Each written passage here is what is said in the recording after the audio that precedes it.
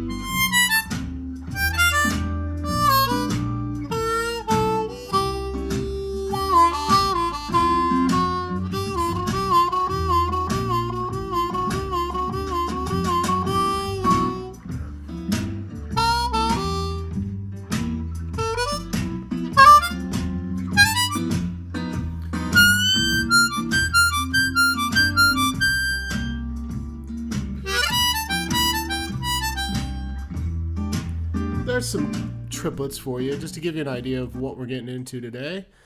Good morning if you're tuning in from somewhere where it's morning, and if you're tuning in from somewhere where it's nighttime, good evening to everybody. All right, so triplets is that's the topic today. Let's just talk about what a triplet is. You're playing three notes over one beat. So if the tempo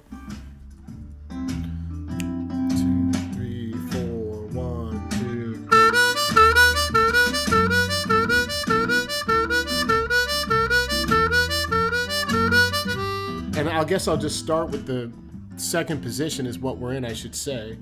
Um, so yeah, let's talk about these triplets, what you can, why you want them, and how you can find them. They're really useful to be working these. Uh, the whole triplet thing is a way to switch up your phrasing in a nice way. So again, if you're just counting one, two, three, maybe just acquaint yourself with a common, get acquainted with that six blow, five draw, four draw on a C harmonica. A beginner would just start with something that didn't have any bending going on, let's say. So you would just play that. Every time you tap your foot down, you can start the triplet.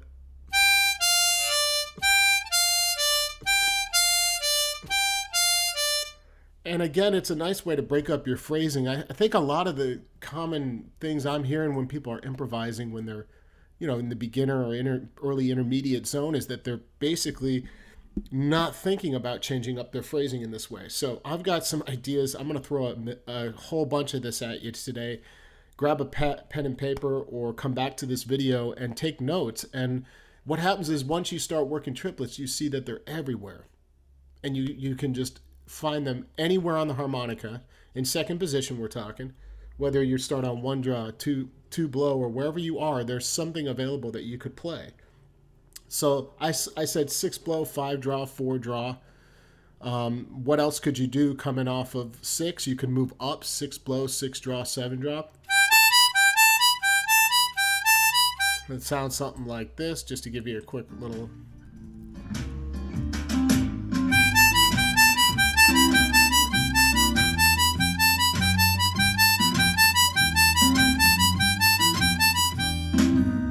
six blow, five draw, four draw.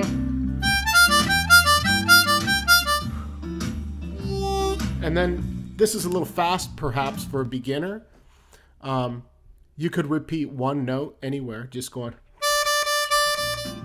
Just to practice the art of getting the timing. Four draw.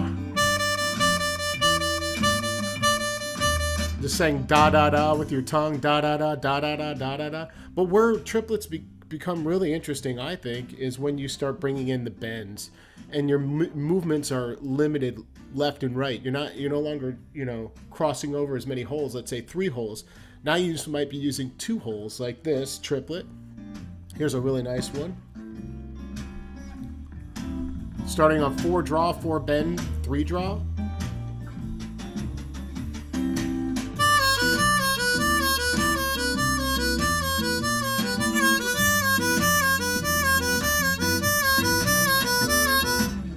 Pay attention to the jaw and how that works to get you that three draw. The jaw's moving left. Just let it drop and slide over. You can start to really build speed that way. And here's the what's cool about triplets. Once you define a pattern of, of a triplet like that one, four draw, four bend, four draw, if we just take that idea and move it down to like three draw, half step, three full step, and two draw, which is basically the same pattern, you're drawing drawing again with a bend on a hole and moving down a hole, you get something like this. I'll play the first one, four draw, four bend, three draw, and then I'm gonna move down to three and two and do a similar pattern, and then I'll break that down.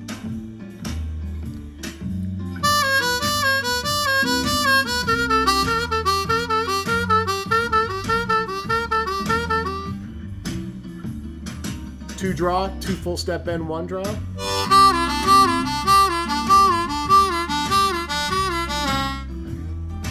So you can see that this pattern's downward moving and that it's there's really not a whole bunch of different there's not a big change in the pattern that you're playing. And then you could start to move that's downward moving, but you can move up, you know, bend, draw on a hole and move up a hole one bend, one draw, two draw. You know, they're everywhere. And so once you start noticing them, it's like hard not to find them. Feeding off of anything going downward. Let me just play around with this idea for a minute.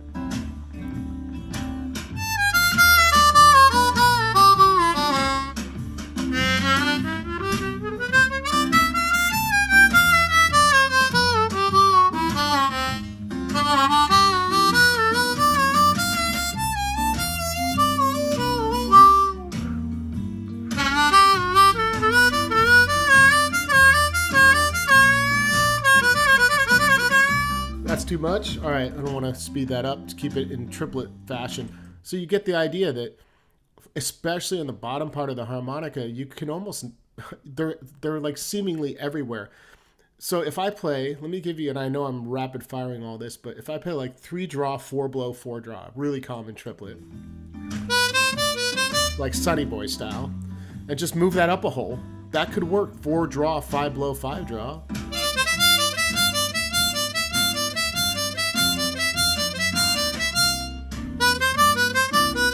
And then from there get creative. Like if you find that three blow, three draw, four blow, and four draw works as a nice triplet, what are the other available note choices in that four? So instead of four draw, you could play with four bend, and you could start alternating some of those like this.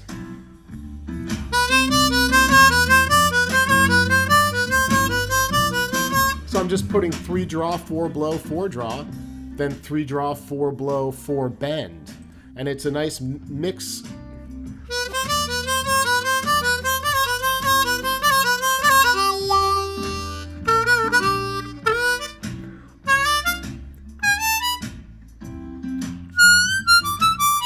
Even going even on the high end, there's some really accessible triplets. Triplets are a great way to get things going. Hey, what's up, everybody? I'm just seeing who's here today. What's going on? Everyone tuning in, thanks for checking this out. Triplets are cool. They're really fun way to work on your phrasing, your timing, and again, just discover some new patterns. Um, I've talked about the fact before that I think of things um, when I play music. I I interpret a lot of that through how I'm hearing what I want to play in my mind, but also what it looks like. And what's nice about this is that it frees you up to sort of just follow patterns occasionally. It's not the only approach, but it's one approach. And like I just pointed out, these patterns can can just stay the same. So if you think in patterns like draw, bend, and then draw on the hole below, start experimenting with that movement down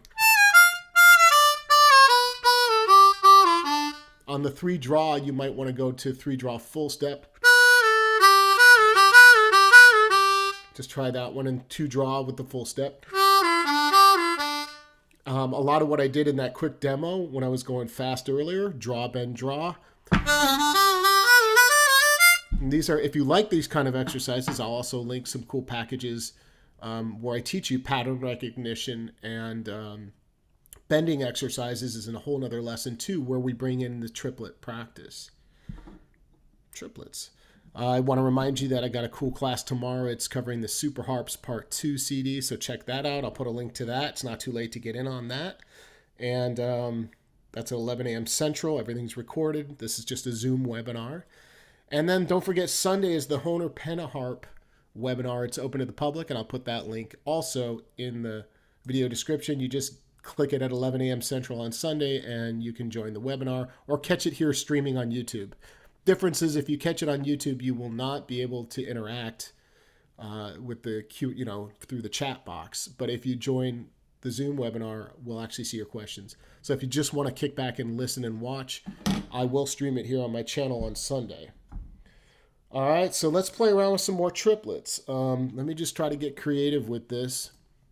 I'm using a what's called the Acoustic Jazzy Blues in G. Uh, I believe this is coming from that MCCD Sessions channel.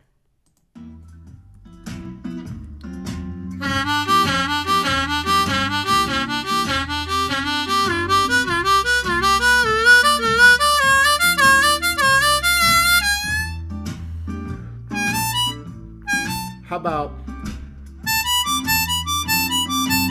the Jerry McCain riff, six draw, seven draw, eight draw?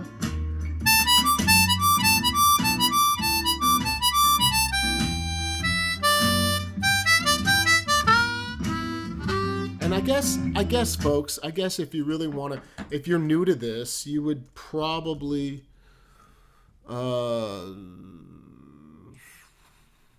let's see how slow this is. Take something slower.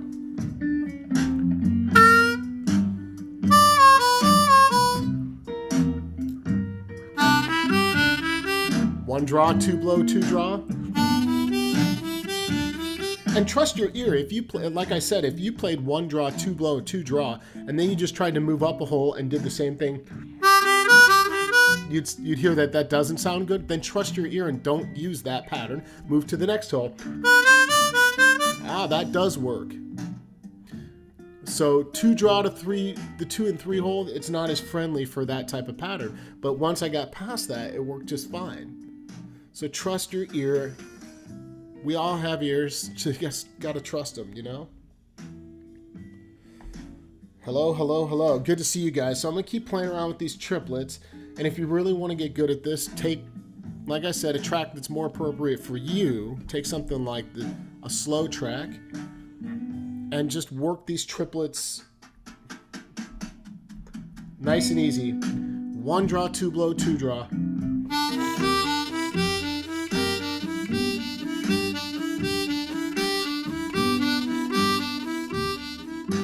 Five draw, five quarter step bend, four draw.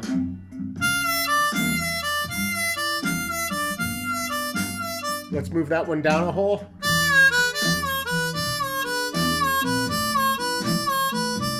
Down a hole to the three draw, three full step, two draw.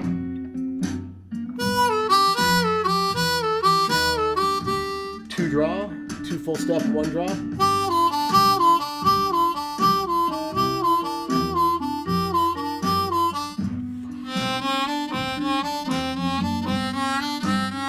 That's one blow, one bend, one draw. They're everywhere. Do you see what I'm saying? It's really almost difficult to not find them. And then what's fun, fun is to take the idea of conjoining these triplets with with ex, like extending the phrase. I don't let's see if I can just try to find this. So you play the triplet, but you, you just keep moving like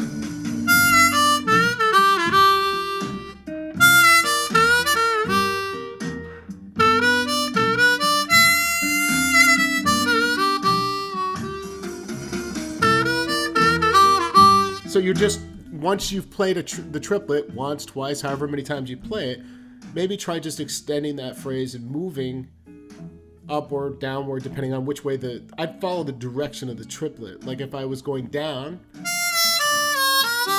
I'd keep moving down typically as an exercise, you know, and in real play. And if I was moving up, I might continue that movement up.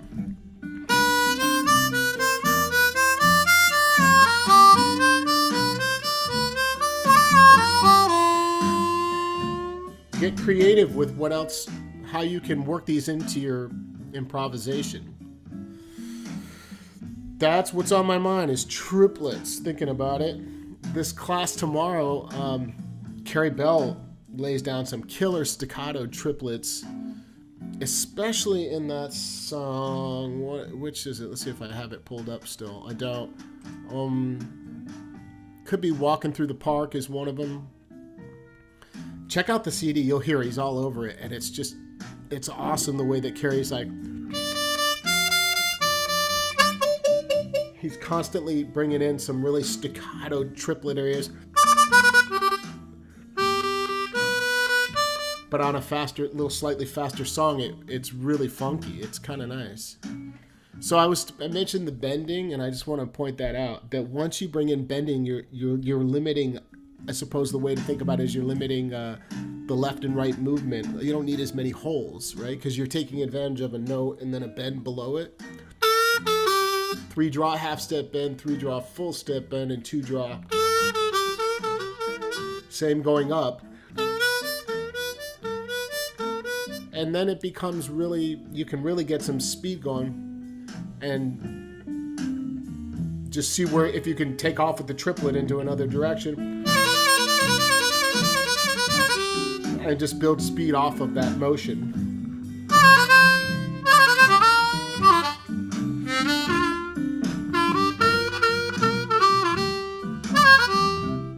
and keep in mind that here's something to remember is that like by definition you're playing three three notes in one beat.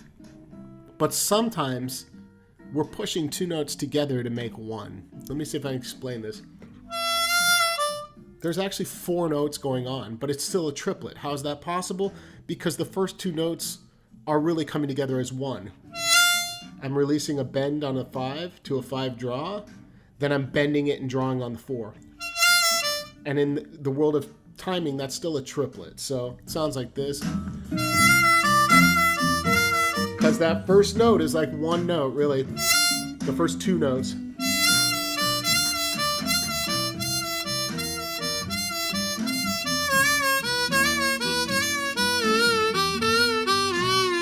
That's more advanced. That's a little more advanced playing. So for those that are, you know, less familiar, start with the simple stuff. Yeah, the Help Me song. We talked about that one. Three draw, four blow, four draw. And really, Sonny Boy, actually, that's a great example. The way Sonny plays it is actually three draw, four blow, four draw into the four bend, but it's still a triplet like this.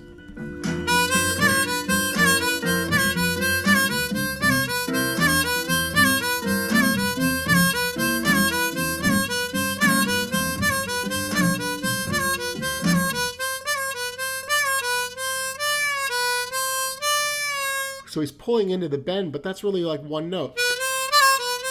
Because it happens really quick, comes together. Yeah, there's some good stuff going on here. Um, I'm intentionally leaving the track going to cover up some of the uh, construction noise once again. It's fun being a musician and a teacher in a construction zone. But hey, that's all good. So yeah, this is what was on my mind today. The whole triplet conversation.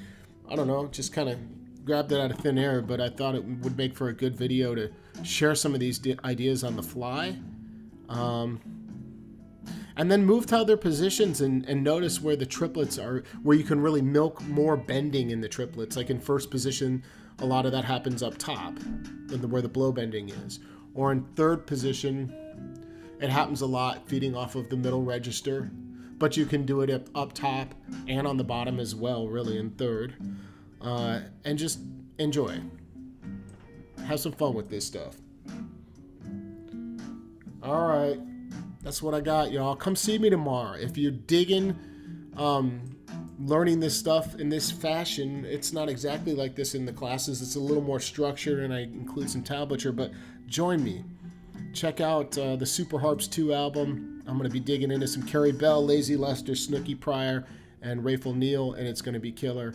It's got a nice balance in the CD with all different styles of blues, and I've hand selected some of these riffs for everybody tomorrow that I think are going to be um, interesting and fun to work on together.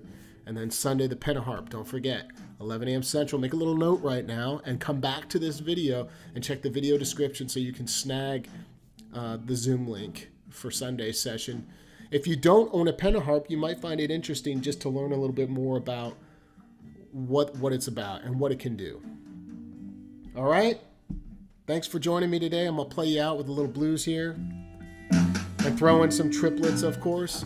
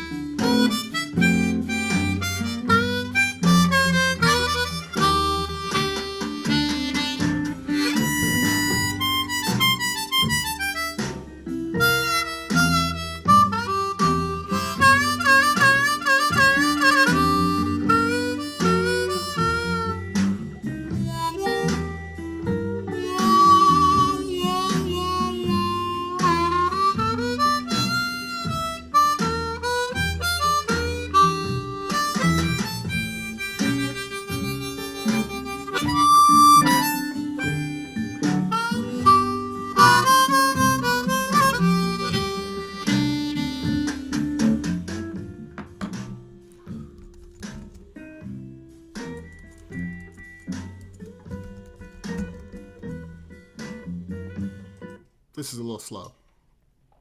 What about some of this action? Ah. Mistitled track. This one is probably not.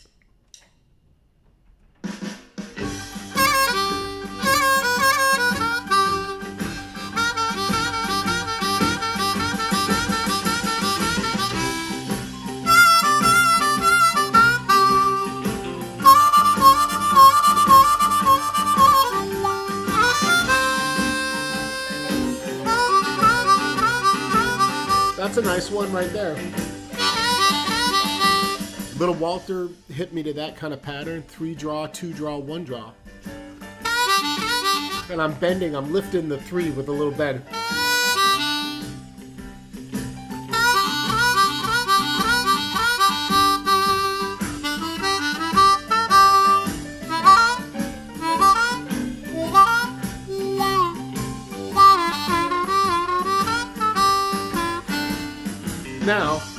This is for demonstration purpose that I'm, I'm drilling these triplets. You want to use these effectively in your playing. You wouldn't constantly be playing the triplets, but you know, like I was trying to say earlier, use them to build riffs, you know, like take the triplet and work something else around that triplet. Find your soul. Give us the real Ronnie Shellist. That's pretty funny, man.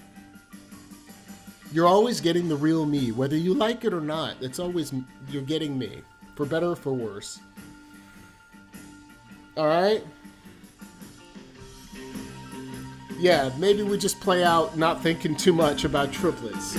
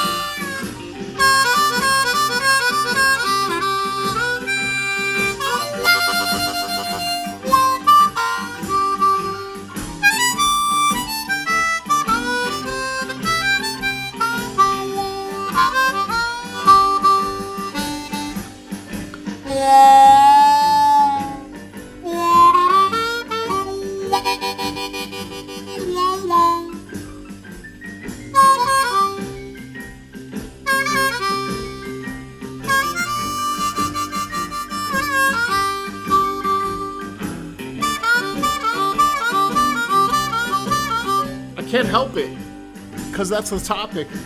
four draw, three draw, half step bend, two draw.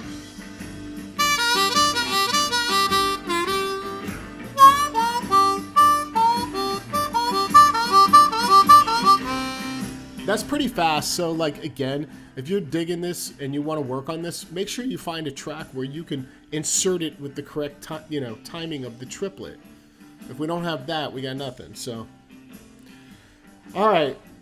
Yeah, thanks for joining me again. Appreciate you guys. I hope to see some of you tomorrow in class and Sunday for the Pentaharp webinar with Drew Lewis, Hohner's product manager. Very knowledgeable and friendly fella. And I'm looking forward to spending some time doing that tomorrow and Sunday. So I hope to see you there. Make it a great day.